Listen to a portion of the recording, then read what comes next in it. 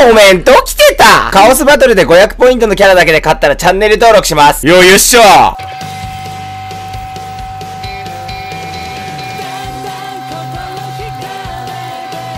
左から、デッカハロウィン、暗殺者の一族、メガネ研究者、綺麗な人。まあ余裕でしょって息巻いてたんだけど、実際無理だよね。おおぬうーん。やったうわエイリーのバリア外れたらもう、倒せばいいんじゃねこれ。いけ決して諦めるないやいや、弱っ。むーうわ、マイル2枚はせこいって、それ痛いあ、いい。お、お前はもういい。お前はもういい。よく頑張った。オッケー。これさ、もうさ、エイリー倒しちゃって、札2枚貯めちゃって、ダブルで必殺すると倒せなんで。おーい。やられるんけじゃあ1体倒したら勝ちってことにしましょう。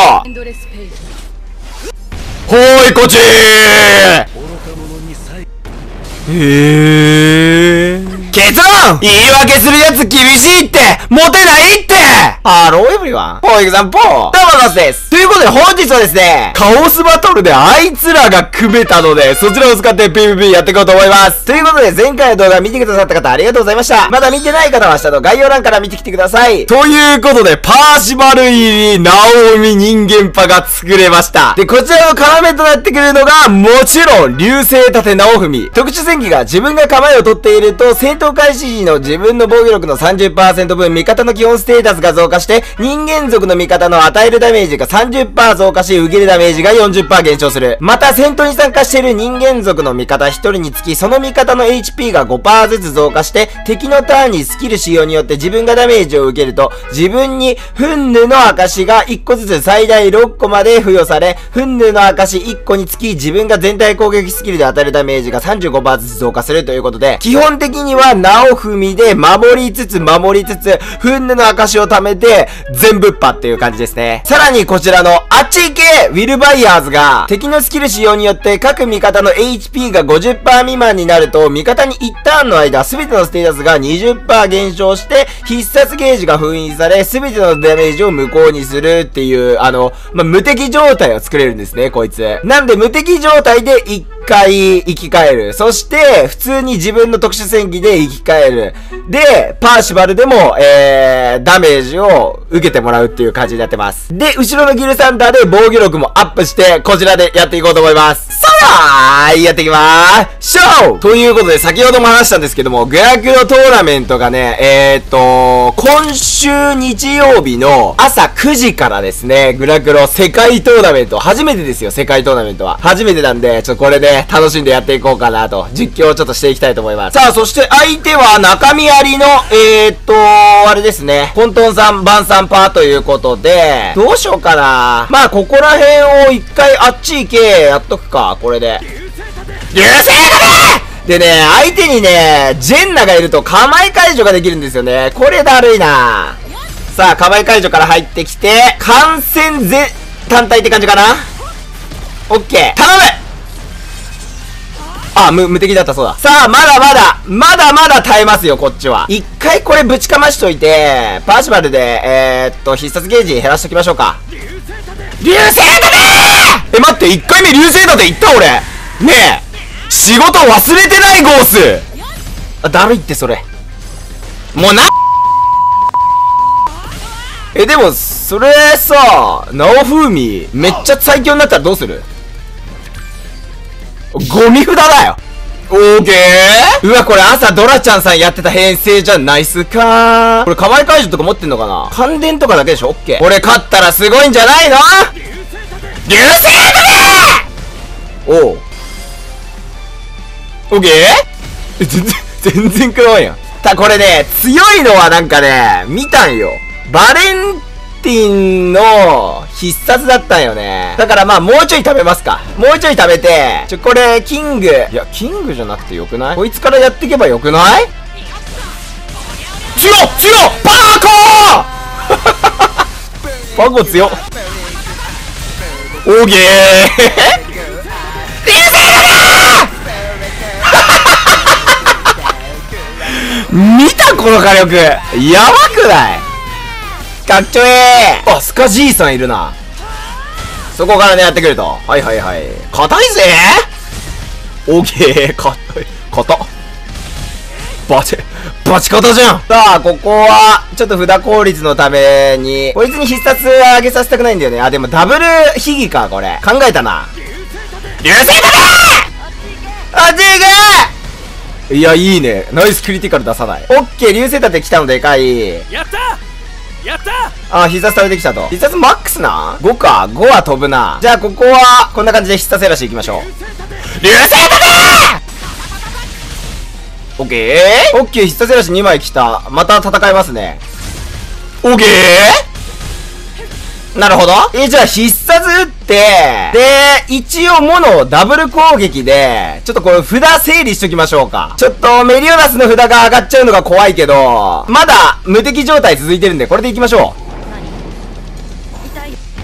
あー、クリティカル出ちゃった。メリオダスの札どんぐらいある？オッケー、1枚大丈夫。これで倒してもいいよ。え、いけるんちゃう？パッちゃん？あ、無理か。よし完璧な札来たぞ、これさあ、この、このターンに相手、俺ら倒せなかったら負けです。絶対無理。オーケー？オーケー？よしこれ、構えからの流星盾2枚でいきましょう。それではいきます。レッツゴー流星盾うわ、キー札打ってよかったキー札打っちゃよかった気持ちよすぎだろ、こいつ。で、最初ちょっと防御飯だったんですけれども、多分防御飯ね、いらないぐらい火力出るなと思うので、ちょっと回避飯でいこうと思います。お、LRS かか。はいはいはいはい。なるほどね。まあでも、エスカの必殺を上げて戦いに行く編成ではありますね。結構耐えるんじゃない？おお、いいね。まあ、全体攻撃さえなければ。うわー、何めちゃめちゃ重なるやん、あんた。あんたそれ。まあ、でも、一応必殺減らしからの、えー、っと、これ。流星だね必殺減らしからのあれはできるんで。そう、封印。封印さえできればさ、エスカーノールずっと止められるよね。ただ相手構えあるんで、そこがちょっと、デメリットですけど。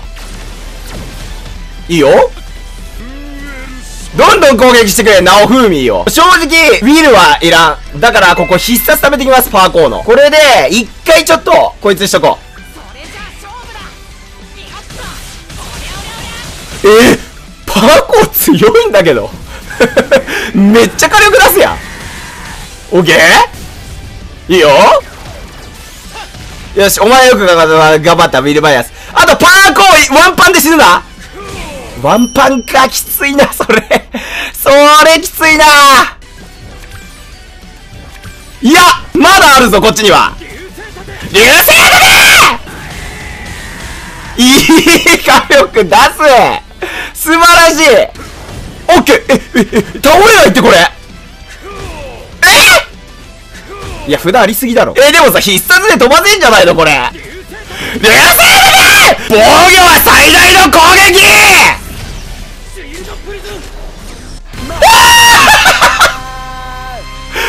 ジかおいバカ楽しいな、ナオフミ。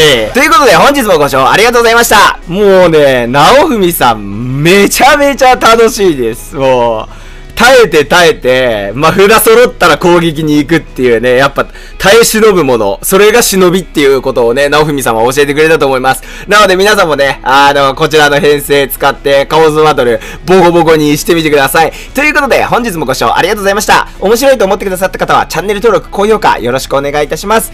ということで、次の動画まで、うの、どうストレス !Thank you!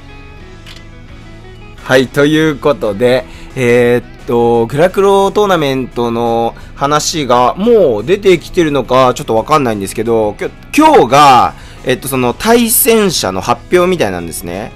で、まだ来てないかな？まだ来てないあ、来てたかな？ちょっと、来てるかもしれない。あ、来てましたね。ちょっとこの後、あの、早めにこっちだけ、ショート動画、やばくない？優勝賞金4000ダイヤ？やっぱ、ガチかよ。うわ、エグすぎるわ。まあちょっとこれ、長い動画では、あれ、あれなんで僕、短い動画で出そうと思うんですけども、えーと、何度も言うんですけど、今週の日曜日朝9時から、このスペシャルトーナメントが始まって、僕、もう、えっ、と、まあ、非公認で実況をやってみたいと思いますので、皆さんも一緒に、あの、楽しんで、えー僕の配信で見てくれればと思います。ということで、いっぱいご飯食べていっぱい寝てください。眠い時は、ということで、おやすみー。